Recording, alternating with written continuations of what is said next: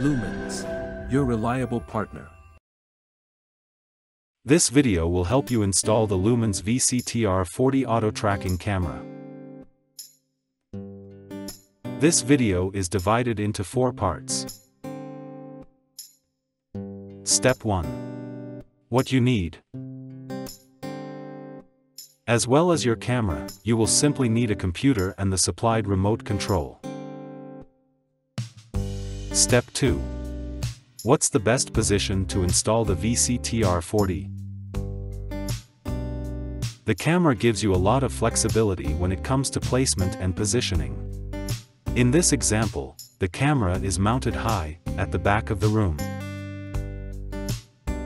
Connect the VCTR40 to your router or switch. The camera can be powered over Ethernet if your network supports PoE. Step 3. Configuring your camera and start tracking.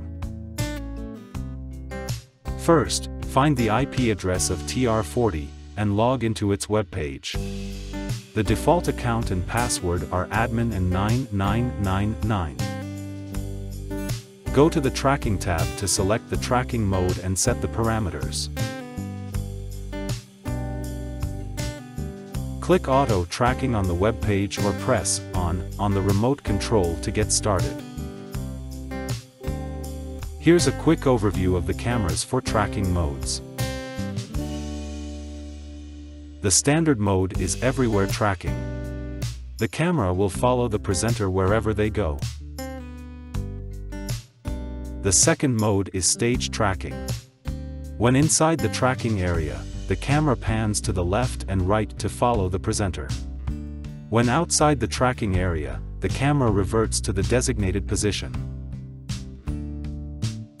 And there's partition tracking. When inside a partition area, the camera will trigger a preset action. When outside partition areas, the camera follows the presenter. And finally, there's auto framing the camera will automatically frame the participants in view.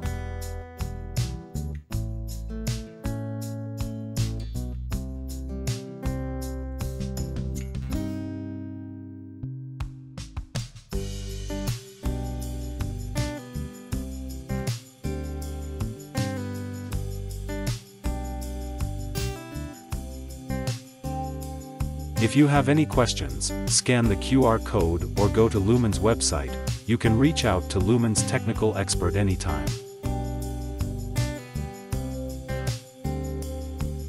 For more information, please subscribe to our YouTube channel.